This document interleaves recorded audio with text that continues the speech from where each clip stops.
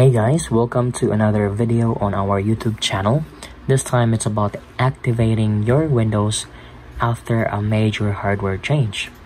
If you recently make significant hardware changes to a computer, such as replacing the motherboard, processor, or main storage drive, the hard disk drive, Windows 10 is likely not going to recognize it as the same device. That works for Windows 7, uh, also for the lower version of operating system, and even with Windows 11 as the newest operating system.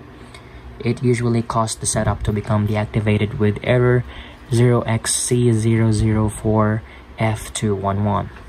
In the past, if the setup lost its activation after upgrading or replacing some of the hardware, you had to actually contact Microsoft technical support directly to reactivate your operating system, which was a solution less than ideal since you needed to go through many steps and not many users knew about that option.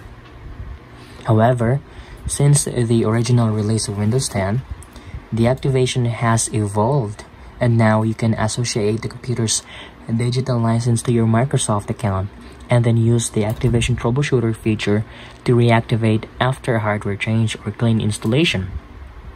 In this video, we will walk you through the steps to use the activation troubleshooter. This is a feature to reactivate your device or your operating system after a hardware change. But if you haven't changed your hardware or you haven't upgraded any of your hardware components, to ensure reactivation happens successfully after hardware change on Windows 10 or Windows 11 computers, you gotta check this settings, click on Update and Security, click on Activation. Under the Windows section, confirm activation is set to Windows activated with a digital license. Under the Add a Microsoft account section, click add an account option.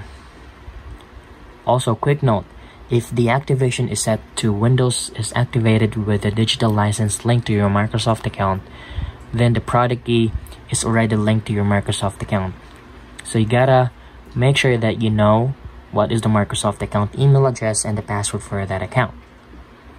If that is the case, then you just have to confirm your Microsoft account credentials click next button, confirm your account password, and confirm your local account password as well. But if you have changed your hardware already, and now you are facing the activation issue, if you have a license that is a digital, which means tied to your Microsoft account, then you can just go to settings, click on update and security, click on activation, under the Windows section, click the Troubleshoot option.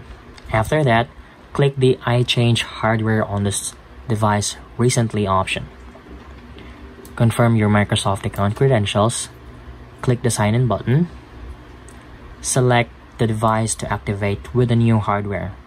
Quick tip, if the computer doesn't appear on the list, click the See Other Devices link to your Microsoft account option and then select the device.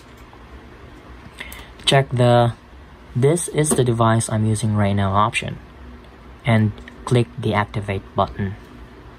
After you complete those steps, the Windows 10 installation will activate again even after the hardware change and you can start using your device normally.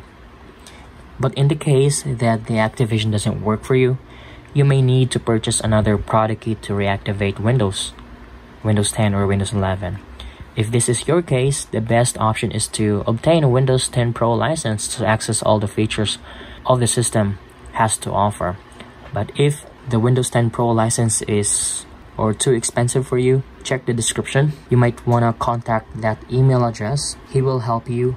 You can obtain Windows product key for a very low price. I hope that helps. Thank you for watching this video and I'll see you again to my next video. Have a great day.